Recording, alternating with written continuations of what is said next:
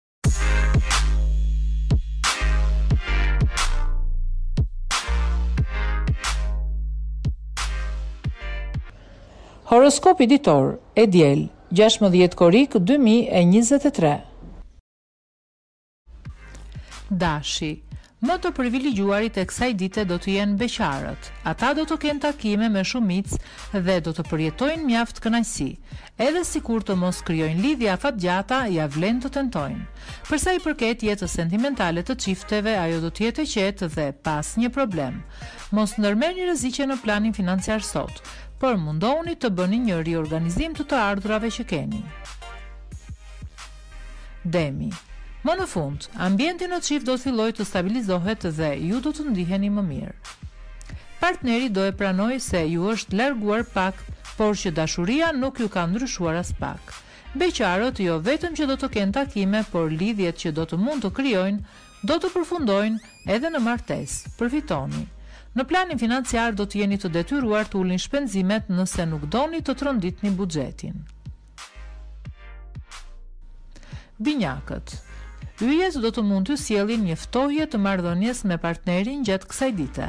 Mundohuni të flisni hapur me partnerin dhe të sqaroni gjithçka sa më shpejt. Nga ana tjetër, planetët do t'ju sjellin fat beqarëve. Më në fund, edhe ju nuk do të keni për çfarë të ankoheni në planin sentimental.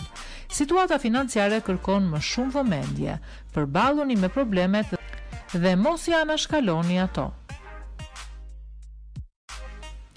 Gaforrja. Hëna do të nxisë më tepër instinktin tuaj të pronësisë.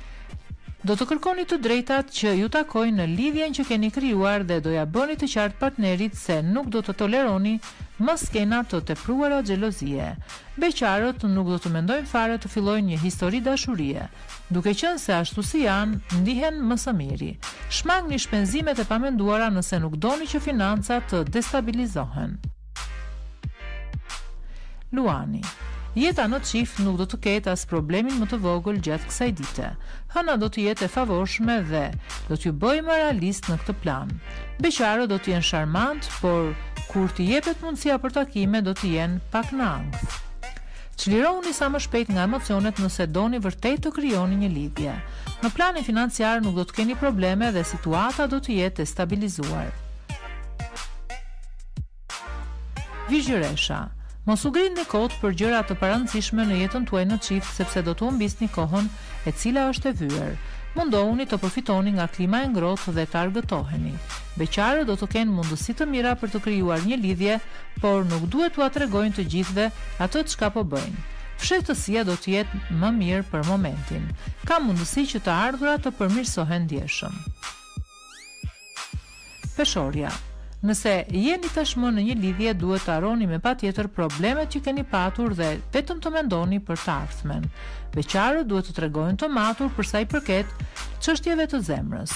Mos u gënjeni nga fjalët e bukura që dikush mund t'ju thotë sepse jo të gjithë thonë të vërtetën.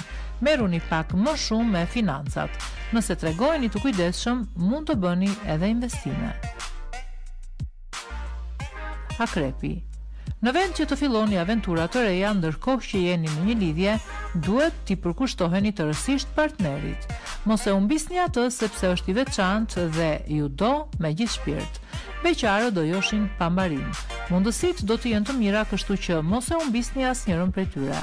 Financat do të dini t'i menaxhoni dhe ka rrezik të humbisni Financat nuk do dini t'i menaxhoni dhe ka rrezik të humbisni shuma të mëdha. Këshillohuni patjetër me ekspertët. Shigjetari. Dielli do t'ju ndihmojë të kaloni sa më bukur me atë që keni në krah. Por duhet të bëni kujdes nga yjet të cilat mund të sjellin debate të kota. Mos lejoni që momentet e të tjerëve të ndikojnë tek ju. Beqarët do të fillojnë një romancë të bukur. Gjithçka do të jetë si një film.